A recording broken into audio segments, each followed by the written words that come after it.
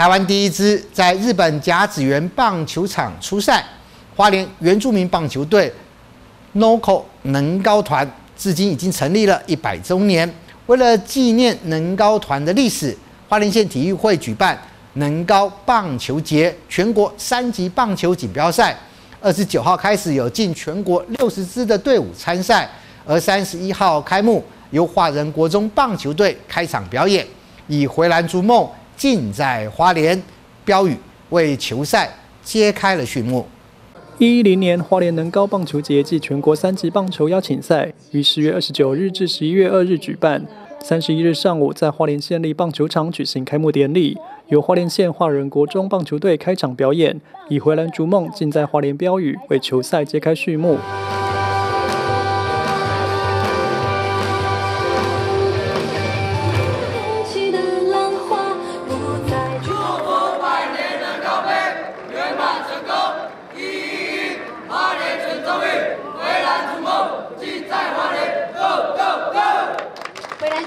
为纪念能高团历史，花莲县府二零一七年编列经费，委托花莲县体育会举办能高棒球节全国三级棒球锦标赛。今年因为疫情影响，原预计暑假办理的能高杯因此延期。考量国高中生打完疫苗不适合激烈运动，再延期到十月底。我们这次分两个球场来比赛，一个是我们在这个呃我们的这个现在脚踩的国际的棒球场以外，另外在。平和国中一个非常漂亮而且新颖的棒球场，另外在我们旁边的这个我们国服棒球场区也有三个场区来比赛，所以我想在这里，无论是周末或者是这一段期间，全国的家长都来到花莲来为我们的选手来支持、来鼓励、来给他们成为最大最大的靠山。花莲县政府也欢迎所有的选手长期来到花莲来训练。今年特别增加社会组，让成年人也能下场打球。这次还有全国八强来自高雄的普门中学棒球队参赛，增加比赛张力。